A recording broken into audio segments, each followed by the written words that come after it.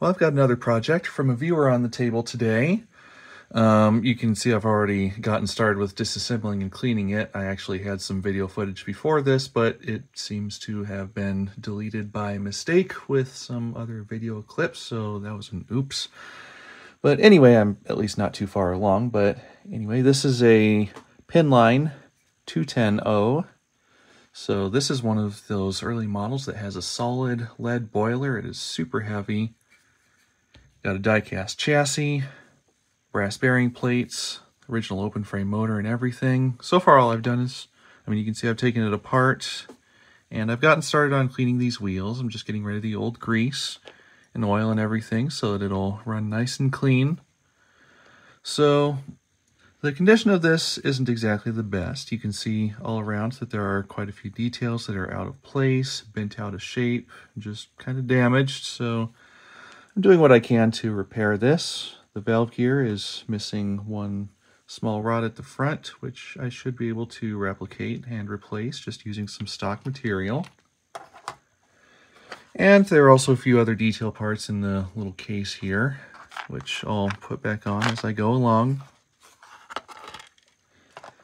So anyway, in addition to cleaning this up and getting it running, the owner of this model also wants me to install DCC, which I think I'll be able to do. I actually ordered a new DCC system finally so that I can work on that kind of stuff. So first things first though, I'm going to get this model running as well as I can with just regular DC power, and then I'll worry about um, DCC. So the next thing I was going to do is just test out the motor here, which I actually haven't done yet. Seems like it's turning nice and free. Uh, there are no problems that I can see so far.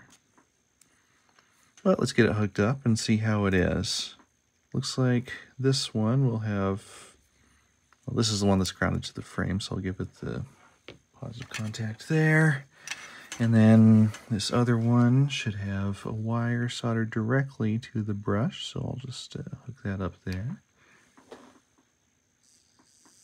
It's working just fine too. Kind of hard to keep a motor clipped onto a brush like that. Oh, keep a keep a clip attached to a motor brush like that. Yeah, that's a really good running motor. It's not the highest torque. But there are no problems at all with it. The lower torque just comes from it being a smaller variety of Pittman style motor, so not quite as much magnet there. But it does at least have its uh, large drive gear to go with the um, diameter of the wheels. The gear is almost as large as the wheels, so that should still give it plenty of torque, and I think this will drive it just fine. So I'll just uh, keep on working on cleaning. Get to work on these brass bearing plates, which you can see are a total mess. I think it'll be easier to go in there with a Q-tip yeah, that's uh, working better so far. Okay, I've got the worst of the grease cleaned out of there, so that should be good enough now. And I was going to clean the paint out of these slots, but then I realized that they're not even actually supporting the axles. It's the brass plates here. And since these are already making plenty of electrical contact on their own, uh, that means that I can just leave that paint alone. So I'm just going to go ahead and start putting the wheels back into here. Just do things one step at a time. Just got to find the insulated side of each of these. And of course, an easy way to be sure of that is the quick short circuit test. Let's see, this is the back, so the wheels should all be on this side. That's correct. Sometimes you can also see the thin strip of insulation in the um, driver tire. So this here, I think I can see that strip. So this should be the insulated one, which means this would be grounded. Now some of these wheels I'll have to clean up before I can get a good short circuit test, but yeah, I finally found a spot there. So that is the correct side. So I'll just keep going with that. Just adding some fresh oil to each one.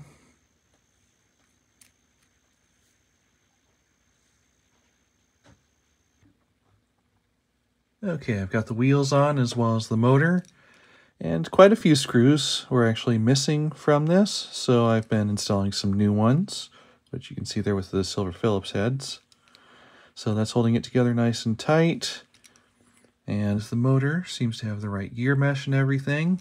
And this screw here I think is actually just a mesh adjustment screw, so I've just got that tightened there and everything looks like it's all good. I'm actually not 100% sure if this is the original Penn Line motor. I think it is. I'm just not 100% sure. So I'm just uh, hooking things back up here to make sure that it's working.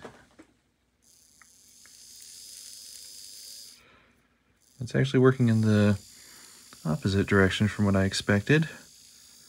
So in that case, I'll flip the wheels around so that the engine picks up from the left rail.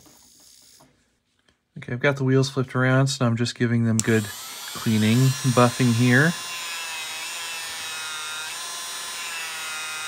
I think you can see pretty clearly just how much of a difference that makes. There, those are nice and shiny now. So the next thing I need to do is get these side rods cleaned up. And they are nice and greasy which you can see right there.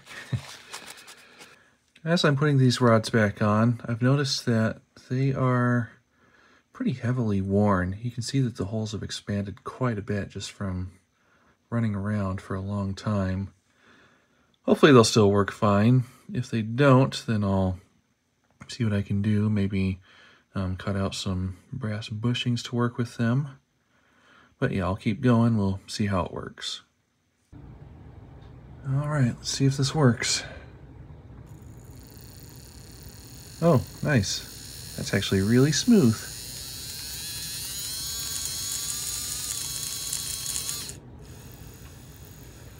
Well, that's good. All I have to do is oil that and get the rods back on there with the cylinders.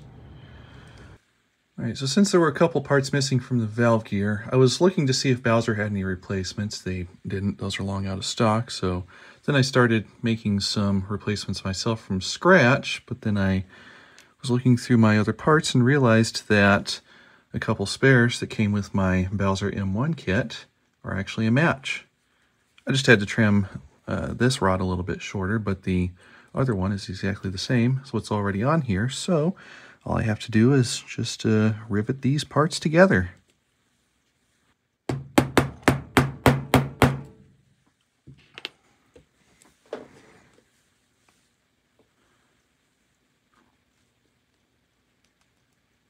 Make sure that's working freely. Yeah, it all looks good. Rivet flared properly, so now I just have to do these other two rivets for the rods that are already on there, which could get a little bit tedious, but I think it's doable. Be careful not to damage anything. Let's see, did that flare out correctly? Uh, kind of flattened around there. But that's holding on fine. That should work. If it causes any problems, I'll just replace it with another rivet. I've got spares. Alright, so after a little more rework, because I found that there were some joints actually put together backwards before, and then just making things fit and work a little better, I think I've got this to a point where it can run. So I've got it reassembled. So I'm just gonna hook up the uh, test leads here and see how it does. Make sure that doesn't short. All right.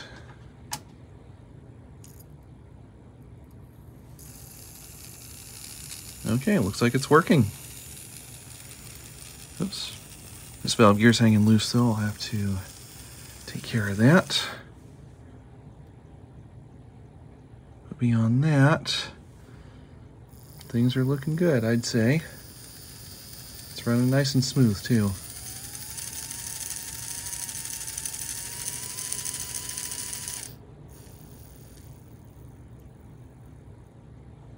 I've got it mostly reassembled now. I'm just trying to get this drawbar figured out. I have no idea how it was actually put together to be insulated and pick up power at the same time with just what I'm seeing here. And it almost looked like there was some sort of uh, like an insulating plastic or rubber glue around it, which I don't know, I'm not really sure about. So I might just have to figure something out and uh, come up with my own system. Okay, I put together a temporary wiring system to the drawbar. So it's uh, not exactly a stable electrical connection, but it's at least enough for a little bit of testing, just to make sure it's going around the track. Hey, you can see it's a little bit jerky there. But, looks like it's running.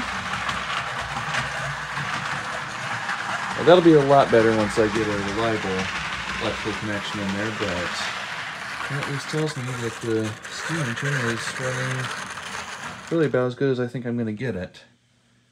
Um, like I showed before early on, the uh, um, insides of some of these holes are kind of ovaled out a little bit. There's not much I can do to really fix that, so I think there's always going to be a little bit of that thumping noise as it runs along.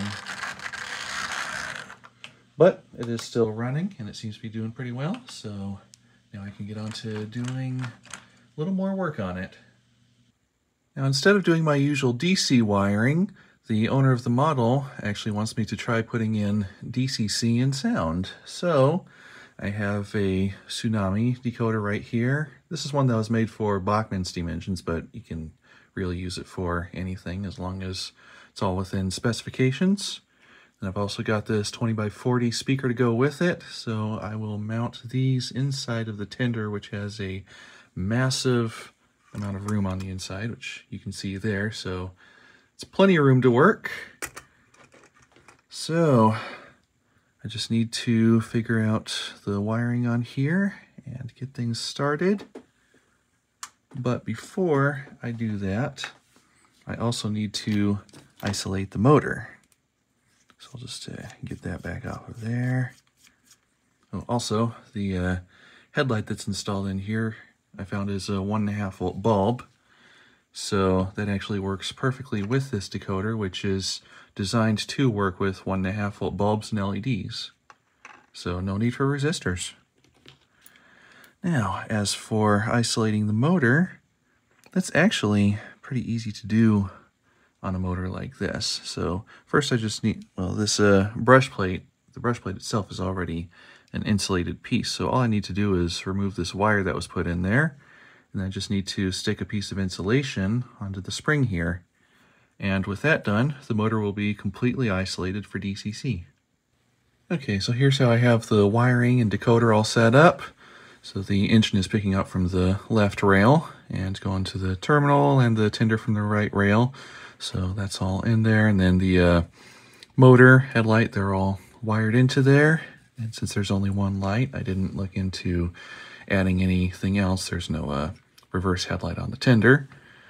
And the trucks for the tender, I wired them together and to the decoder so that it wasn't relying on just the uh, contact points around here. So that should help to make it a little more reliable if there end up being any pickup problems, then it's actually possible to just uh, plug a Keep Alive uh, battery capacitor um, directly into this plug here. So that's actually a pretty convenient design. And I've got electrical tape lining the inside here to make sure there are no short circuits. So now I just need to mount the speaker and I'm going to use a bit of uh, foam that I have for that. I think it's a, I think it's neoprene foam is is the material. It's a uh, stiff, but at the same time it's soft enough that it dampens vibration, so it's pretty nice. Holds nicely to glue. So I'll just get these last couple things together and we can see how this all works. Well, I put it onto the track and it seems to have powered up straight away, which is good. I got this uh, MRC Tech 6 so that I can start testing stuff like this. So let's see the model runs. Let's switch the direction.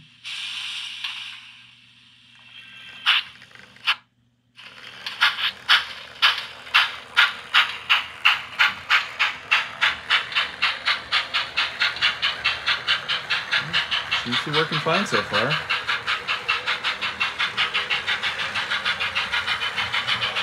I thought to do a little bit of tuning on the chest frequency.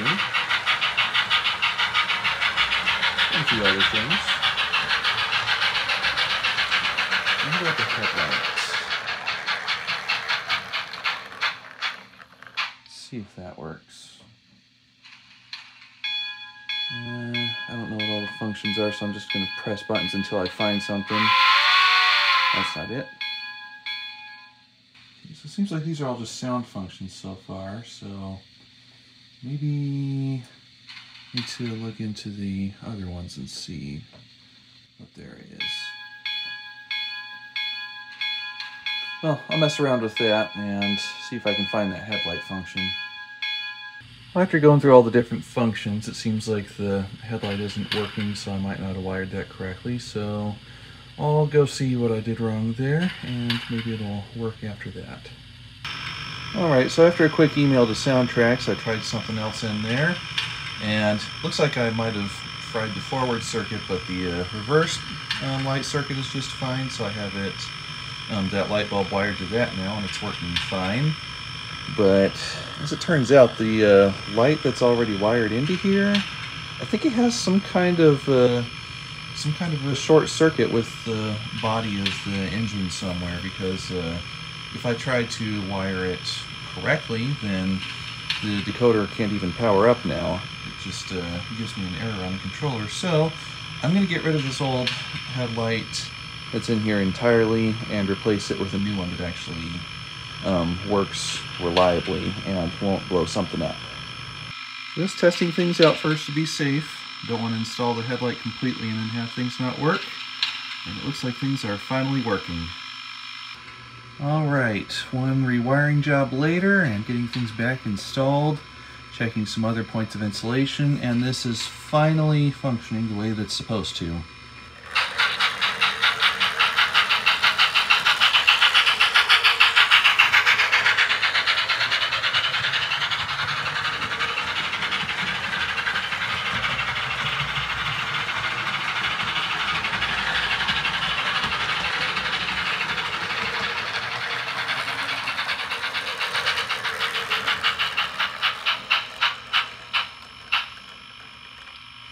So with that done, I'll just uh, finish up fixing up those details and giving it some touch-up paint, and this will finally be ready to send back. Okay, I think I'm all done here. I did a little additional programming of the decoder to get things working just right. Did a little bit of work with the EQ and the chuff rate. And then the details, I put everything back on that I could. Did a little bit of extra painting here with the red on the cab roof and on the tender roof. There were only a couple detail parts he sent me where I couldn't find any locations for them, so I went ahead and left them off. I'll just send them back. Maybe he can find a use for them. But yeah, I think this is finally ready to go. You can see the chuff rate is matched much better.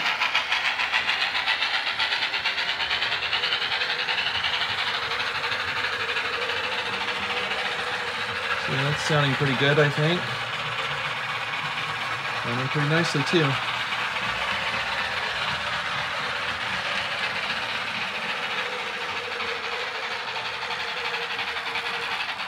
This is my first experience with uh, programming sound model in HO scale. A little bit of electrical pickup issue going over my switches. Those have always been a bit of a rough spot for any of my engines. Got the light back on. As long as it's running over a clean track with um, no real imperfections. I don't think there will be any real electrical issues, but like I showed earlier with that decoder, um, it's made so that a keep alive battery or capacitor can be plugged directly into it, so that might be beneficial on this model, but as it is now, this is still working pretty nicely. So yeah, I think I've done what I need to do with it. So I think it's time to send this model back now. And with all the work that's been done, it should hopefully last him for a very long time. This is actually one that his grandfather built, so it's been in the family for decades. So maybe it'll last him just as long as it did his grandfather. I certainly hope so anyway, and I hope he's happy with the work that's been done on it.